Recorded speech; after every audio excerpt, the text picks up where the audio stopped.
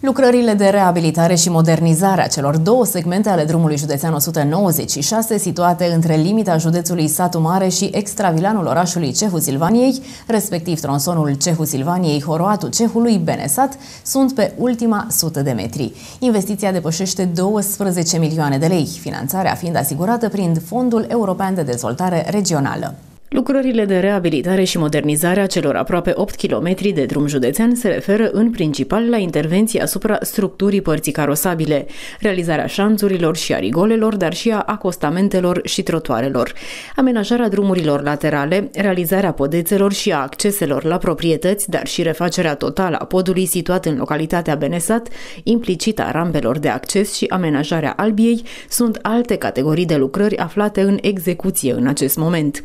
În ceea ce privește siguranța circulației, sunt prevăzute a fi realizate marcajele rutiere, precum și montarea indicatoarelor aferente, trecerile de pieton beneficiind de semnalizări prin indicatoare cu panouri fotovoltaice, marcaje rezonatoare și marcaje transversale în două culori. Potrivit reprezentanților administrației județene, investiția trebuie finalizată până în cea de-a doua parte a lunii noiembrie. Odată reabilitate și modernizate, cele două segmente ale drumului județean vor asigura o mai bună conectivitate conectivitate cu județele Satu Mare și Maramureș și tranzitare regională și în interiorul județului, îndeosebi prin legătura rutieră cu drumul județean 108D situat între Cehu Silvaniei și Crișeni, tronsona cărui contractare a lucrărilor de reabilitare și modernizare a fost de curând realizată de către Consiliul Județean. Valoarea lucrărilor depășește 12 milioane de lei, finanțarea fiind una nerambursabilă prin Fondul European de Dezvoltare Regională, peste 7 milioane de lei făcând obiectul cererilor de rambursare până în acest moment.